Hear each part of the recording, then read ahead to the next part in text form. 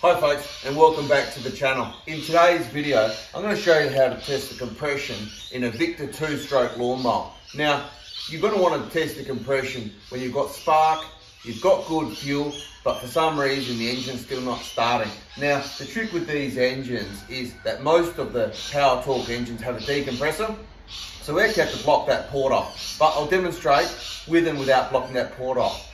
Also, you notice that I've got two mowers here. Now, whilst that one over to your right looks like a newer mower, its engine's actually had it and it's low on compression, whereas this one, it looks really ratty here.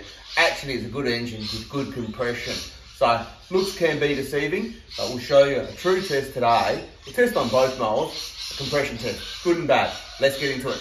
So to do the test, obviously you're going to need a compression tester, a 19 mil spanner to get the decompressor out. However, as you can see, I've got my Knipex pliers, and that's because the thickness of my 19 mil spanner is simply too thick to get in on the decompressor, but I'll show you that in the video. And a spark plug tool to get the spark plug out. So to start with, what I'll do is I'll actually leave the decompressor in the engine head just to show you how it doesn't test the compression correctly. So I want to remove the spark plug boot, take the spark plug out with our spark plug tool.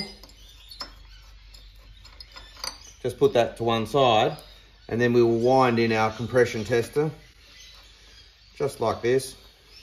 And you can really just do this up finger tight because there's an O-ring which seals there.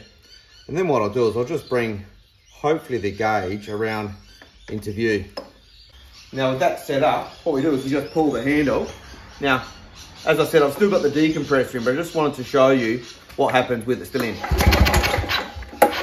So as we can see, it is building compression, but it really only just builds to just below 50. Now let's see what happens if we take the decompressor out. So to take the decompressor off, you're going to want to remove that vacuum line to the carburetor. And then as I said, technically you would use a 19 mil spanner However, as you can see, my spanner is simply too fat to get in there. But if I show you with this other decompressor that I've got a spare lying around, you can see it is actually the correct size spanner. But if I bring you around, you can see the thickness of my spanner is wider than the nut on the decompressor. So just using my Knipex pliers, these are actually half multi-grip half pliers. I use them a lot and sometimes people comment, but if you truly know what these are, you know what they are. Look them up. I'll throw in a link, but they are truly wonderful. So you can just get in there. They're a little bit thinner than my 19 mil spanner. So just undo that like that. Get that out like that. And we'll just pop that spark plug in that hole. It's very convenient. The spark plug is the same thread. Perhaps Victa did that intentionally for, you know, testing the compression and then we can pull the handle and test the compression again. So straight away you can feel the compression and you can see on the first pull it actually has gone over 50 so there we go. So you can see a fraction of the difference.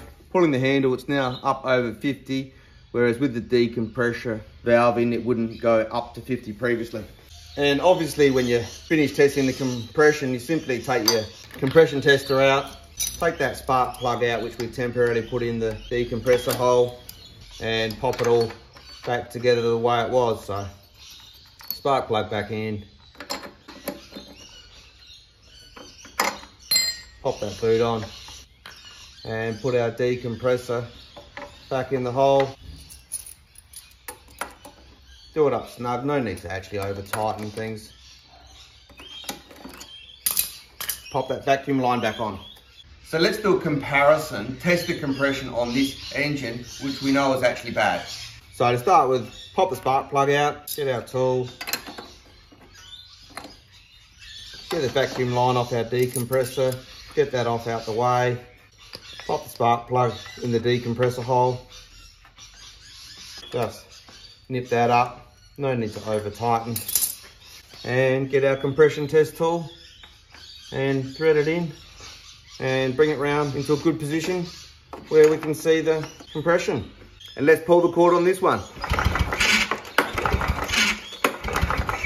So there you go. You can see by comparison, I pulled it three times and it's only just going above 25. So clearly we can see that's the reason this engine won't start. Simply doesn't have enough compression to make it run. So there you go folks, that's how to test the compression on your two-stroke Victa lawnmower. And you can see we've tested on two different lawnmowers here today. This one right alongside me was good, compression over 50 PSI, but the one to your right over there would hardly make 25 PSI, and that's why the engine won't run. If you like what you've seen here today, do hit that like button, it's truly appreciated. Drop a comment down below, we love reading through all those comments. And if you're interested in DIY maintenance on around the home, or on vehicles, or on lawnmowers, do remember to hit that subscribe button. In the future, we may actually film a video where we swap this good engine off of this ratty base onto that really nice newer base. If you're interested in that, look out for it in the future. But until next one, have a good evening.